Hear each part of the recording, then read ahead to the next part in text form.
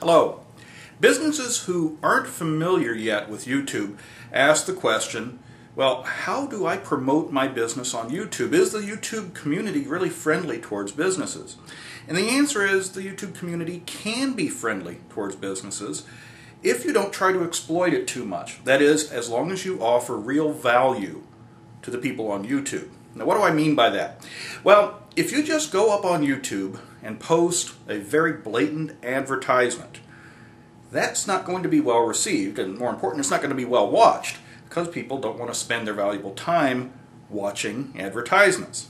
However, if you put a video up on YouTube that offers something of value to the viewers, that's a totally different story. Now, how do you offer value? Well, there are a number of ways. Value can be in the form of entertainment, that is, you can put up a, a video that's just entertaining, that's funny, that's fun to watch.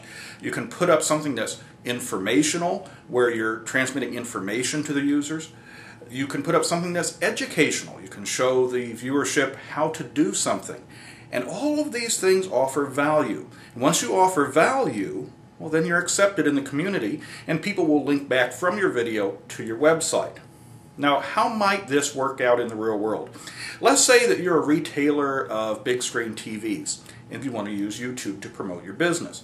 Now, you could put an advertisement up there saying, I've got the lowest prices on plasma TVs, not going to be well received.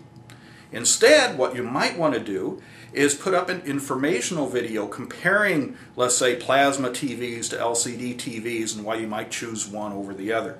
Now that's informational, it's a very subtle message, almost like an infomercial that you might see on regular TV. People will watch that because they'll get something valuable out of it. Let's say that you sell appliance parts, uh, parts to repair a washer or a dryer. But let's say then that you create an educational video on how to change the light bulb in your dryer, or how to change the belt on your dryer, or how to change the filter on a refrigerator. Well, these are educational videos. Again, they have a lot of value to the user. The user will watch that video on YouTube, get value out of it, and then link back to your website.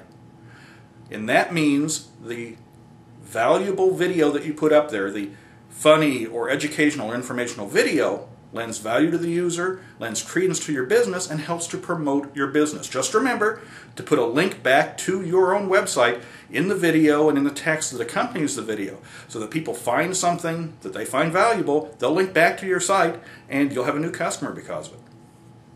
That's all for today. I'm Michael Miller, and thanks for watching.